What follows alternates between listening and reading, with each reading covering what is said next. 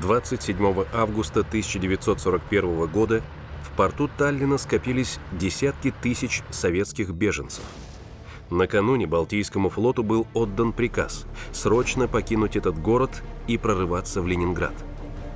Немцы уже захватили большую часть Эстонии. Переход наших кораблей из Таллина в Ленинград обернулся страшной трагедией. В Финском заливе их атаковали самолеты Люфтваффе. Было потоплено 163 судна. Погибло 11 тысяч человек. В этот момент над Ленинградом нависла смертельная опасность. Гитлер приказал стереть его с лица земли. Это совершенно четкое указание по поводу того, что население Ленинграда должно быть уничтожено. Причем уничтожено полностью. Битва за Ленинград стала самой продолжительной обороной крупного города в истории Второй мировой войны. Она продолжалась два года, четыре месяца и десять дней. Это уникальный случай в истории. Такого не было, чтобы многомиллионный город в блокаде находился 900 дней, выжил, выстоял, потерял бы миллион человек, но не сдался. Почему Гитлер остановил свои войска на пороге Ленинграда? Кто помог нацистам окружить северную столицу России? Как выживали ленинградцы во время блокады?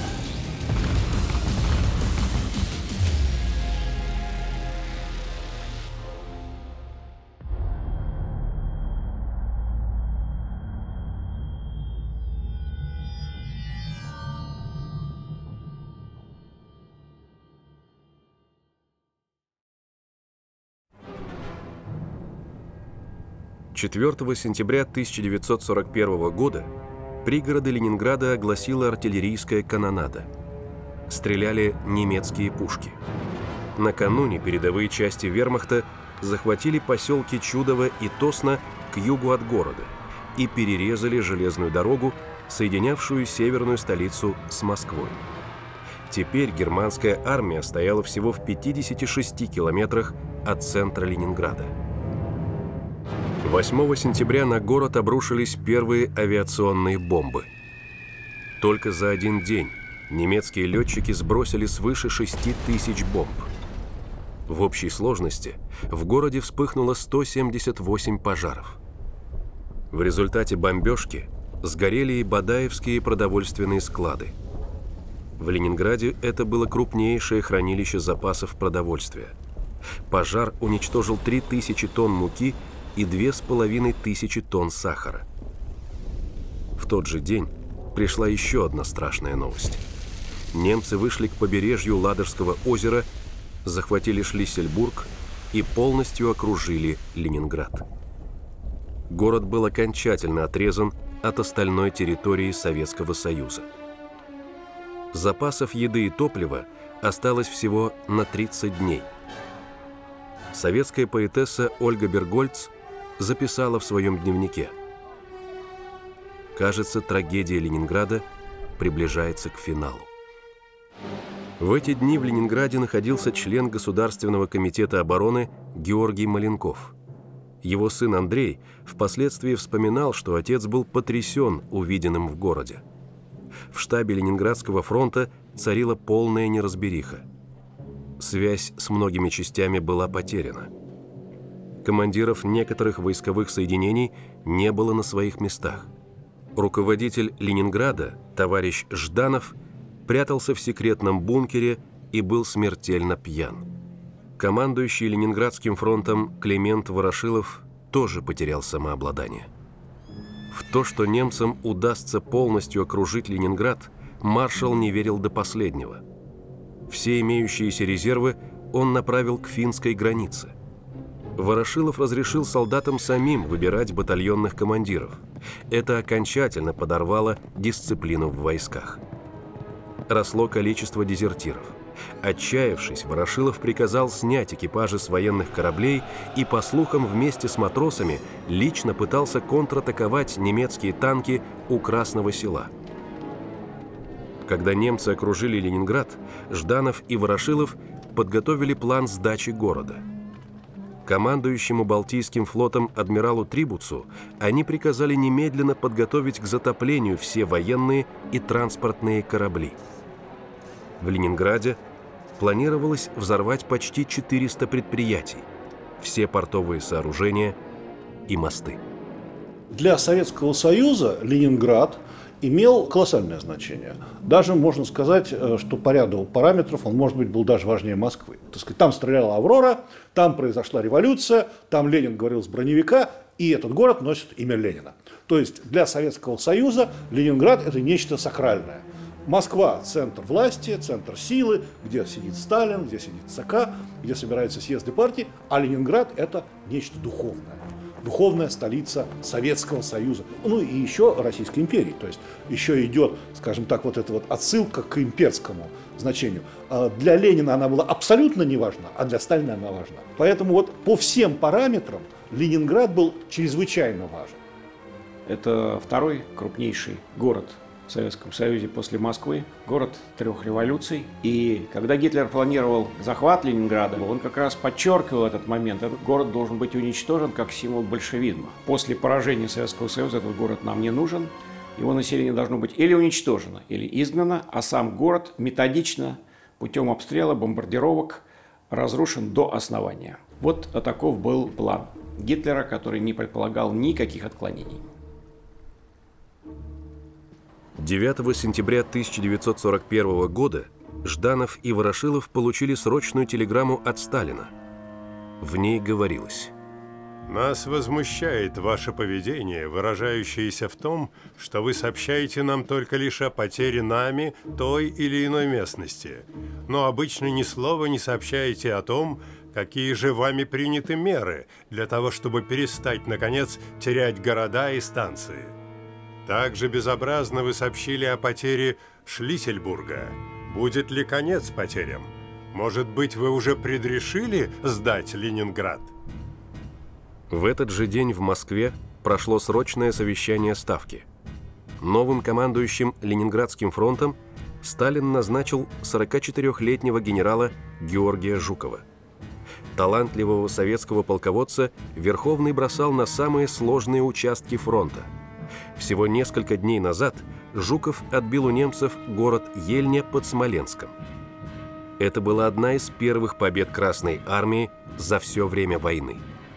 Теперь Сталин приказал генералу отстоять Ленинград любой ценой. 10 сентября Жуков срочно вылетел в северную столицу. При подлете к Ладожскому озеру советские самолеты были атакованы мессершмиттами. Военно-транспортный «Дуглас» с Жуковым на борту чудом не был сбит. Едва приземлившись, генерал отправился в Смольный. Охрана не сразу пропустила его внутрь и почти четверть часа проверяла пропуск. Говорили, что после этого дверь в зал заседаний Жуков выбил ногой. Отстранив Ворошилова от командования, он тут же телеграфировал в Москву. Решили никаких мер на случай сдачи города пока не проводить. Будем защищать Ленинград до последнего человека. Жуков приказал немедленно укрепить дисциплину в армии. Выборы в батальонах отменить, расстреливать всех, кто без приказа оставит позиции. В целях пресечения дезертирства было дано указание расстреливать даже семьи, сдавшихся в плен красноармейцев. Это распоряжение содержалось в шифрограмме Жукова за номером 4976. Однако на деле этот приказ носил скорее предостерегающий характер. Он практически не исполнялся командирами и впоследствии был отменен. Все трудоспособное население Ленинграда было предписано отправить на строительство новых оборонительных рубежей. Работы велись ежедневно в несколько смен.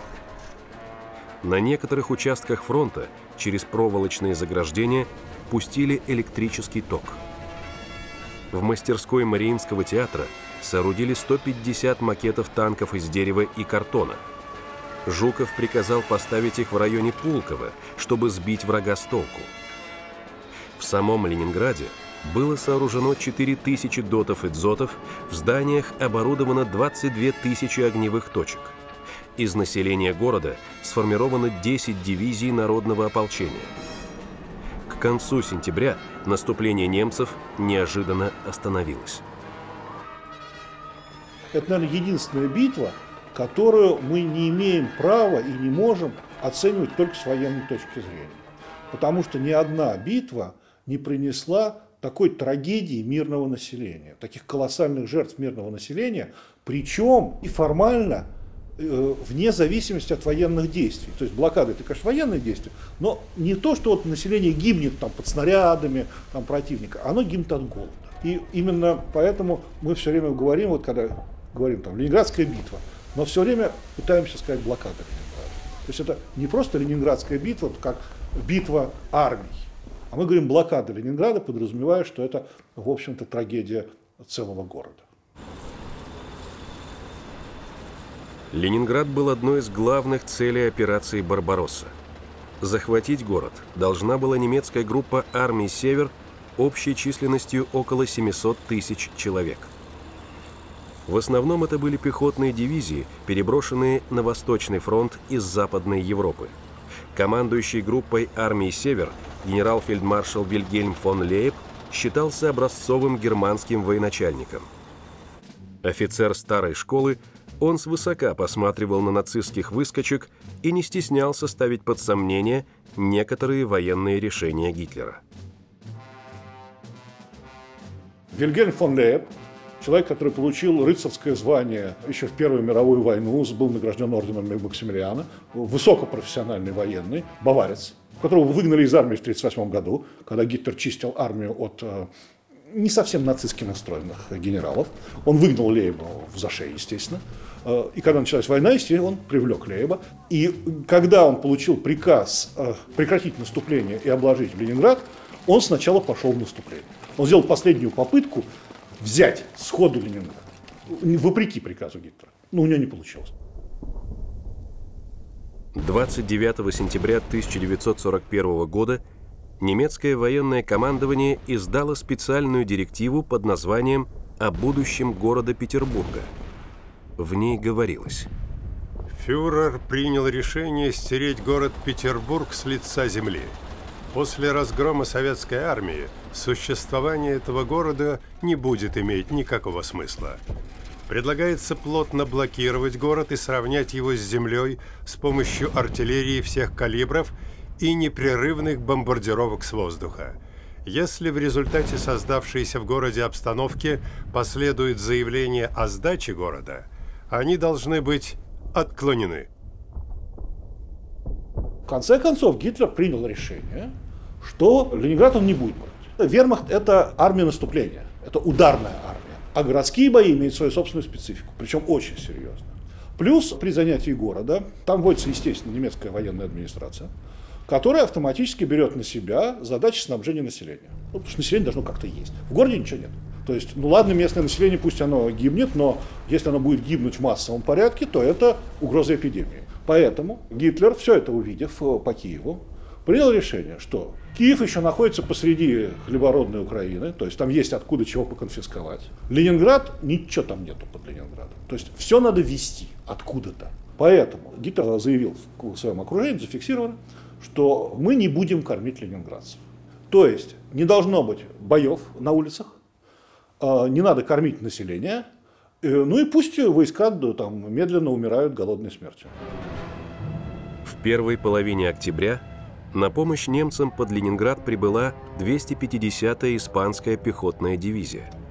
Испанские солдаты обычно носили голубые или синие рубашки, и потому это соединение часто называли «голубой дивизией». Она была сформирована в Мадриде в июле 1941 года. В основном в дивизию набирали добровольцев. В далекую Россию эти люди отправлялись по идейным соображениям. По их словам, они хотели поквитаться с коммунистами, которых считали виновными в развязывании гражданской войны в Испании. Перед вами уникальные кадры кинохроники. Испанские добровольцы на Ленинградском фронте изображают традиционную народную забаву – кориду или бой с быком. Перед отправкой на фронт каждый испанский солдат давал клятву. Клянусь перед Богом в абсолютной верности главе немецкой армии Адольфу Гитлеру в борьбе против коммунизма. Клянусь сражаться как храбрый солдат и отдать свою жизнь в любое мгновение, чтобы выполнить эту клятву. Всего за годы войны в рядах голубой дивизии служило от 40 до 50 тысяч человек. Под Ленинградом испанские части держали оборону южнее Ладожского озера. На севере Удерживать блокаду Ленинграда Гитлеру помогал другой его союзник – маршал Финляндии Карл Маннергейм.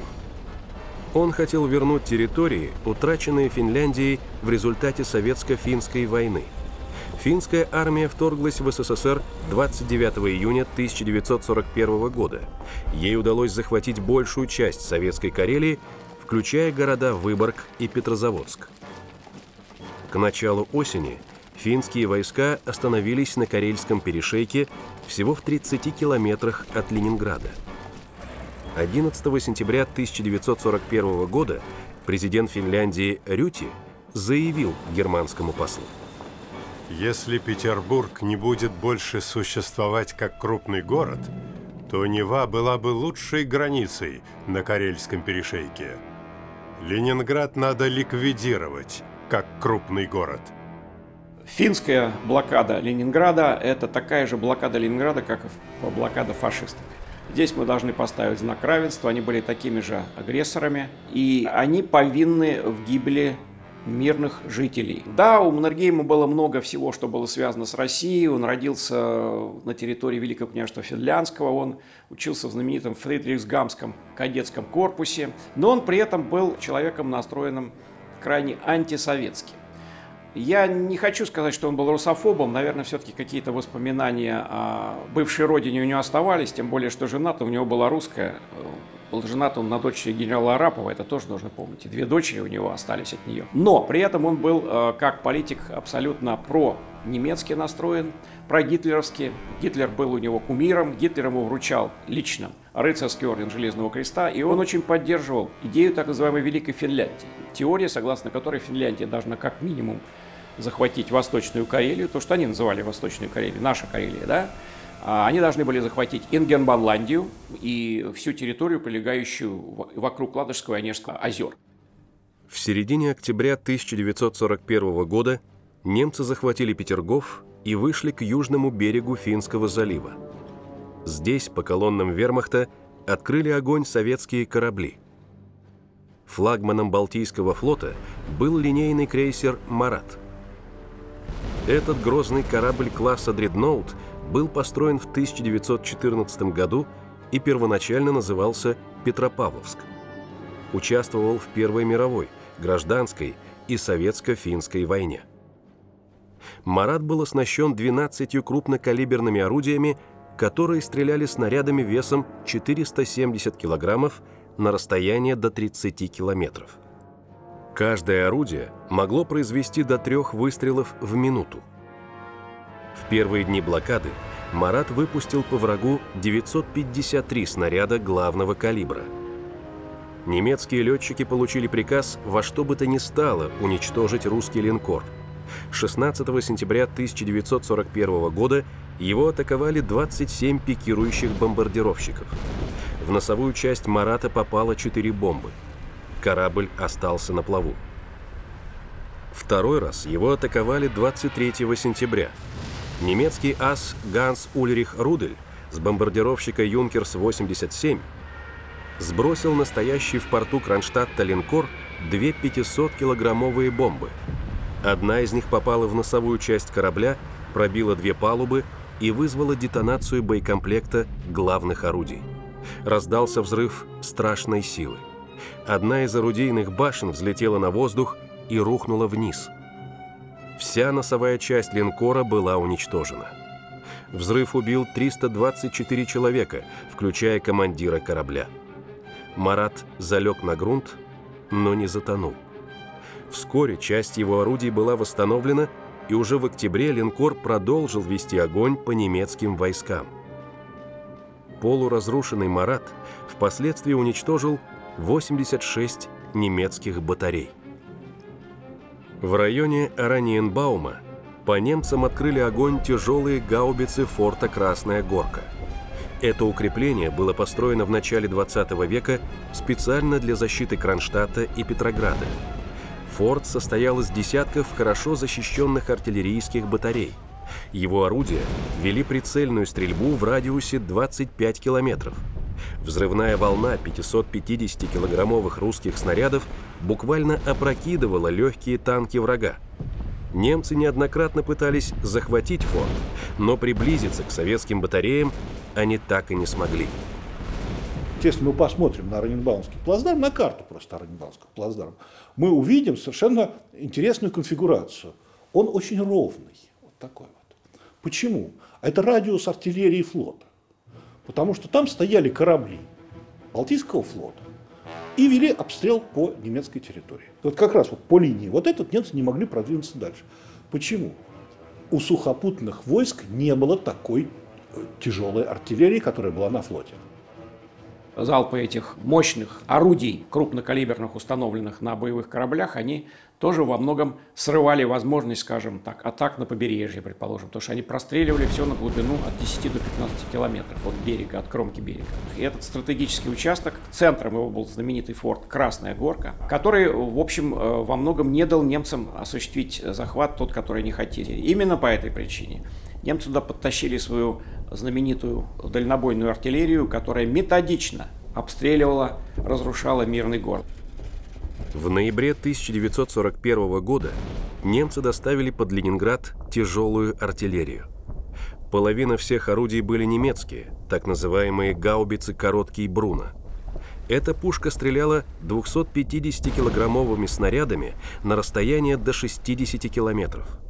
Другая половина орудий была французского или чешского производства. Мощнейшая из них французская железнодорожная гаубица калибром 400 мм могла вести прицельный огонь даже по северным районам Ленинграда. В некоторых местах немецкие орудия стояли всего в 16 километрах от Зимнего дворца. Хорошую погоду немецкие наводчики могли разглядеть в свои бинокли купола Исаакиевского собора и другие высотные строения. Особенно интенсивный артобстрел – велся в начале и по окончании рабочего дня, когда на улицах было много людей. В основном немцы обстреливали мосты, жилые районы и предприятия города. Но некоторые высокие здания они старались не разрушать. Например, был отдан приказ не вести огонь по Кронштадтскому морскому собору. Его купол, возвышавшийся над заливом, немцы использовали как ориентир для своей артиллерии и авиации. Всего за период блокады по Ленинграду было выпущено 148 тысяч снарядов и сброшено 107 тысяч авиационных бомб. Однако эффективность немецких бомбардировок оказалась невысокой. Плотность советской зенитной артиллерии в городе в 8 раз превышала берлинскую или лондонскую, а большинство исторических зданий Ленинграда были тщательно замаскированы начались работы по укрытию исторических памятников. Как их укрывали? Толстыми деревянными щитами и мешками с песком или там еще с какой-то э, такой вот э, субстанцией, которая предохраняет от разрывов. В частности, мы знаем, что таким образом были спасены, с моей точки зрения, три знаковых памятника. Это памятник Петру Первому, памятник Николаю Первому и памятник Ленину.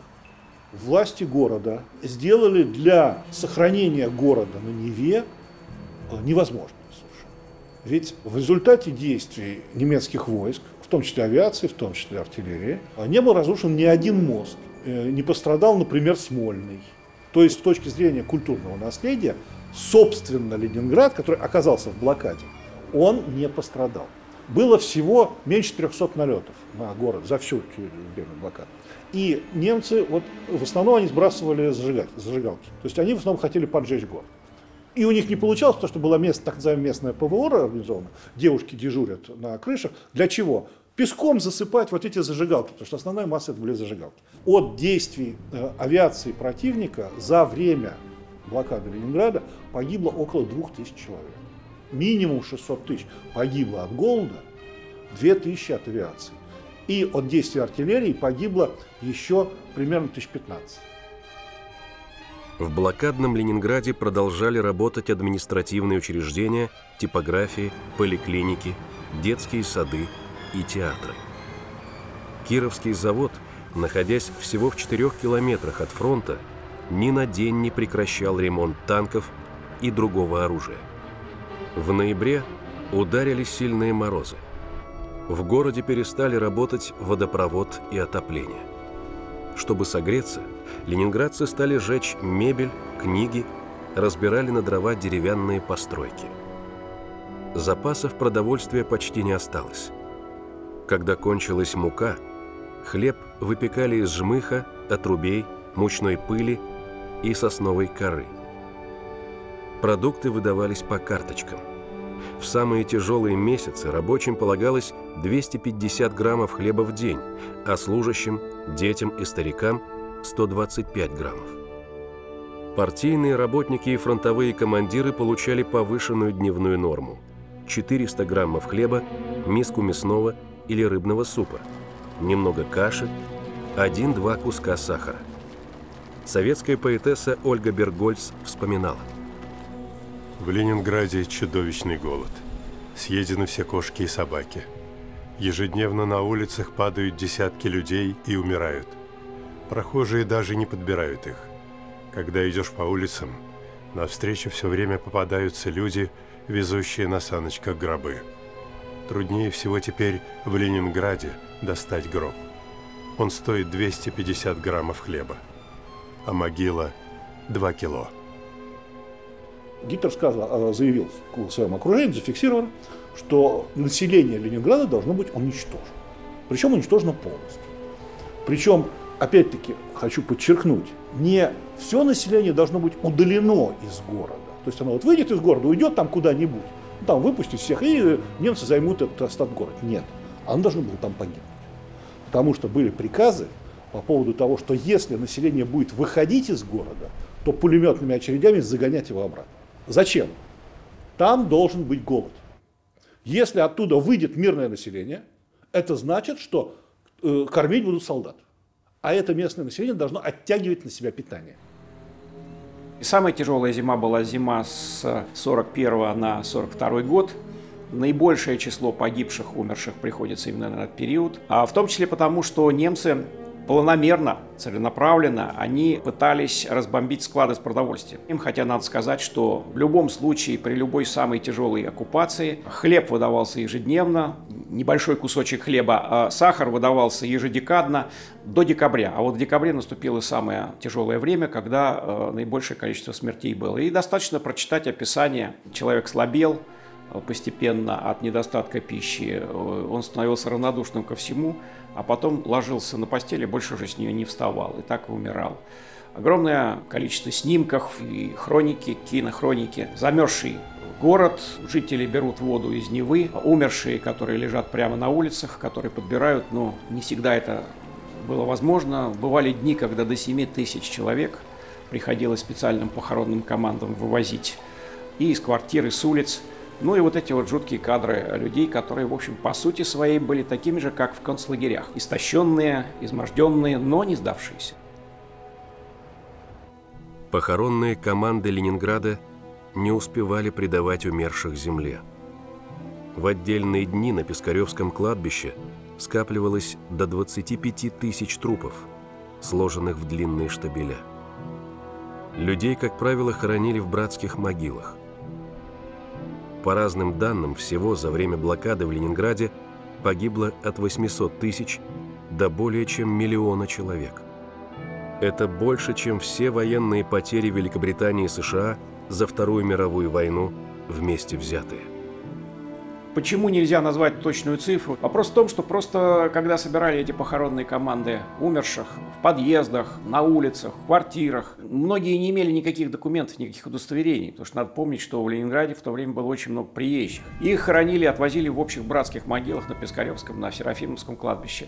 И просто они были неизвестными. И вот эти неизвестные и неучтенные, они, наверное, и составляют вот эти вот сотни тысяч погибших. Но я думаю, что мы можем твердо сказать, что потери мирного населения э, Ленинграда просто от голода, холода и болезней, просто от блокады, которую им устроили и финны, и немцы, э, составляет где-то около миллиона, в районе миллиона человек. Уже осенью 1941 года Сталин приказал любой ценой прорвать блокаду Ленинграда. На востоке, в районе города Шлиссельбурга, войска Ленинградского и Волховского фронтов разделяли всего 20 километров. Но прорвать немецкую оборону без дополнительных резервов оказалось почти невозможно. На правом берегу Невы, в районе поселка Невская Дубровка, советские войска захватили небольшой плацдарм, который бойцы называли «Невский пятачок». Это был крошечный участок земли, шириной до 2 километров и глубиной до 800 метров. На Невском пятачке велись одни из самых ожесточенных боев в истории Великой Отечественной войны. Ежедневно через Неву на маленький плацдарм переправлялись свежие советские части. Пятачок простреливался немцами насквозь, и советским солдатам приходилось буквально закапываться в землю – Считается, что за полгода на Невском пятачке, площадь которого примерно равнялась площади Петропавловской крепости, погибли от 50 до 85 тысяч человек. Но первый раз удержать плацдарм советским войскам так и не удалось. В апреле 1942 года, когда на Неве начался ледоход и переправлять подкрепление на правый берег стало практически невозможно, немцы перешли в наступление. Как только начался ледоход, немцы сразу же этим воспользовались. Оказалось так, что на самом пятачке была группировка порядка 500 человек, то есть небольшая, ну, а все время же через него идет поддержка, там все, там все. А здесь нет поддержки, потому что лед скрылся. И они бросили туда тысяч пять примерно. Ну, то есть примерно человек в 10 раз было преимущество. Ну, примерно, там точных данных нет. И, соответственно, выбили. Э, наши попытались перекидывать э, войска. Перекинули. Но сколько перекинешь? Ну, ну 300 человек перекинули. Ну, ну, больше не перекинешь, там лед идет. Неудобно. И вот тогда немцы взяли этот самый э, Невский пятачок.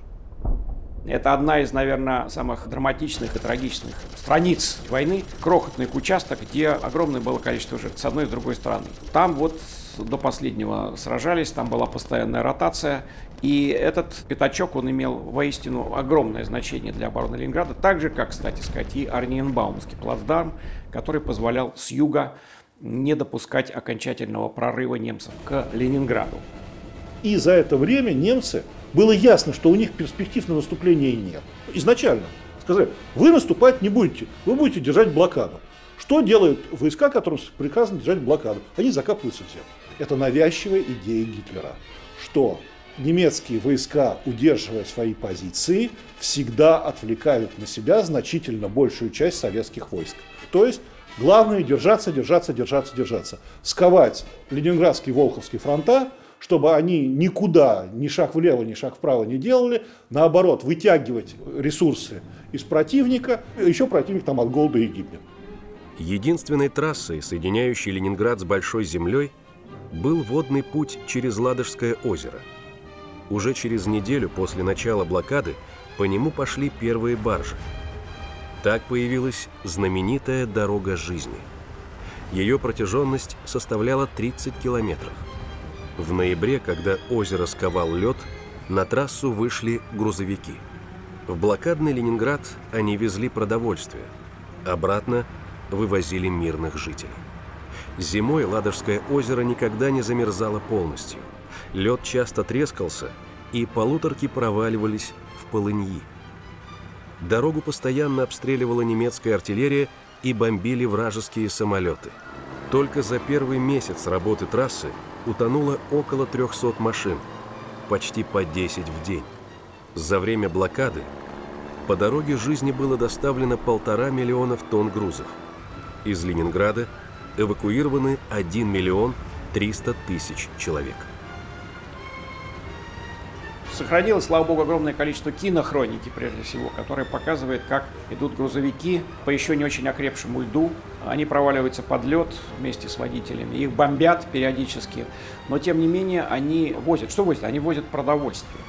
Они возят продовольствие в этот самый осажденный город. Во многом это позволило уже в январе, а потом в феврале 1942 года увеличить хлебный паек, прежде всего и военнослужащим, и гражданским, и работающим на предприятиях. Обратно они вывозили раненых, они эвакуировали жителей, которых еще можно было эвакуировать, прежде всего вывозили детей, то есть это было в прямом смысле дорога жизни.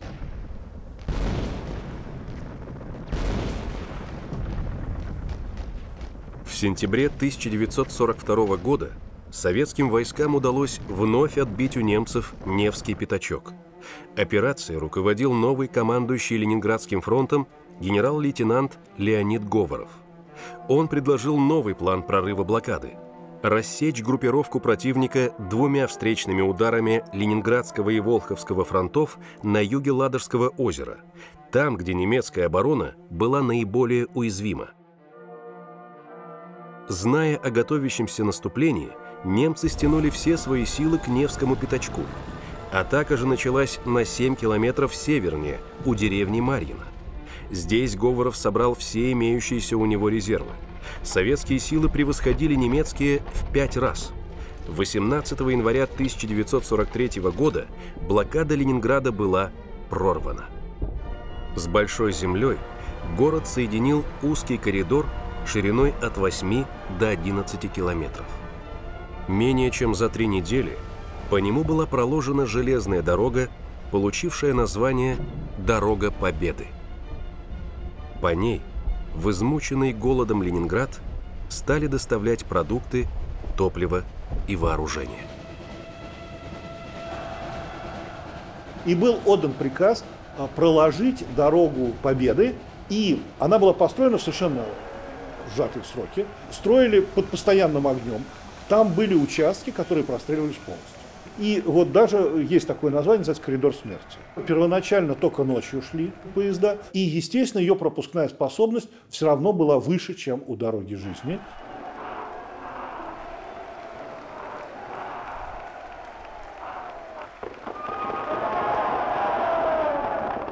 Товарищи ленинградцы, героическая Красная Армия прорвала блокаду Ленинграда.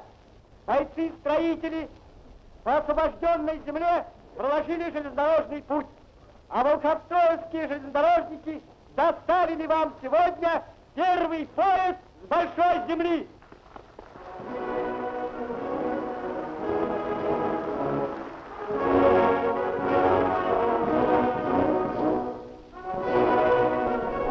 Прямо вот начиная с февраля 43 года Говоров сразу начал подготовку к снятию полной блокады. То есть началось накапливание сил, это с одной стороны. А с другой, группа армии «Север» немецкая, она с каждым месяцем становилась все слабее и слабее. Группу армии «Север» постоянно обирали. То есть Гитлер из нее постоянно изымал наиболее боеспособные соединения. То есть группа армий постоянно ослаблялась. И, а советские войска, наоборот, усиливались. 14 января 1944 года больше ста советских крупнокалиберных орудий открыли огонь по немецким войскам с Араненбаумского плацдарма. Мощный и неожиданный удар привел к развалу всей немецкой обороны. Советское наступление продолжалось две недели. 27 января 1944 года блокада Ленинграда была окончательно ликвидирована – Красная армия вышла на границы Латвии и Эстонии. Вот уже прорыв блокады, вот Ленинград, уже когда полное снятие блокады, оно уже закончилось не снятием блокады, а оно закончилось уже чуть ли не катастрофой группы армии «Север». То есть тогда уже был нанесен удар и уже погнали уже погнали, уже пошел выход на Прибалтику, то есть уже пошел нон-стоп. То есть уже, когда мы смотрим эти наступательные операции, уже идет одна наступательная операция, вторая, третья, четвертая. Как только наши военачальники научились готовить операции, оказалось, что хваленные немецкие военачальники ну, не совсем соответствуют тем параметрам, которым, которым якобы должны были бы. В освобожденных пригородах Ленинграда перед советскими солдатами предстала страшная картина. Эти кадры были сняты в начале февраля 1943 года. Горит Павловский дворец, построенный в середине XVIII века. Из Павловска немцы украли все музейные экспонаты – мебель, картины, вазы, часы, скульптуры. Отступая, нацисты подожгли дворец и разрушили его павильоны – заминировали руины и прилегающую территорию. Точно так же они поступили и с другими всемирно известными музеями. Например, в Царском селе не осталось ни одного целого дома. Был полностью разграблен Екатерининский дворец, из которого немцы целиком вывезли знаменитую янтарную комнату. Знаменитые фонтаны Петергофа лежали в руинах. Всего из пригородов Ленинграда оккупанты вывезли свыше 100 тысяч музейных предметов. После окончания войны вернуть в СССР удалось лишь незначительную их часть. Реставрация дворцов и музеев Ленинградской области продолжается до сих пор. После снятия блокады в Ленинграде оставалось 560 тысяч жителей, в пять раз меньше, чем в начале войны. 27 января 1944 года почти весь город вышел на улицы, площади и набережные Невы. В 8 вечера раздались 24 залпа артиллерийских орудий. Это был единственный за все время войны победный салют, который был дан не в Москве. В приказе Сталина от 1 мая 1945 года Ленинград впервые был назван городом-героем. 1965 году это звание ему было присвоено официально. По силе духа, по сопротивлению, по тем жертвам, которые были принесены, да, это уникальный случай в истории. Такого не было, чтобы многомиллионный город в блокаде находился 900 дней, выжил, выстоял, потерял бы миллион человек, но не сдался. Вот это была крупнейшая моральная победа, поэтому я бы поставил оборону Ленинграда, на, наверное, на первое место. Может быть, в э, одном ряду с такими судьбоносными сражениями, как Сталинградское сражение. И здесь мы должны с вами вспомнить, что когда была прорвана блокада Ленинграда, президент Рузвельт прислал свою знаменитую телеграмму героическим защитникам Ленинграда, которые вот в таких нечеловеческих условиях, тем не менее, город не сдали.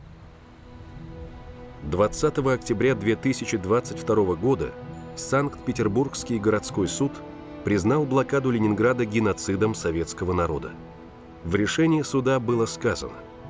Признать блокаду Ленинграда войсками Германии и их пособниками, вооруженными подразделениями, сформированными на территории Бельгии, Италии, Испании, Нидерландов, Норвегии и Финляндии, а также отдельными добровольцами из числа австрийцев, латышей, поляков, французов и чехов военным преступлением, преступлением против человечности и геноцидом – народов Советского Союза.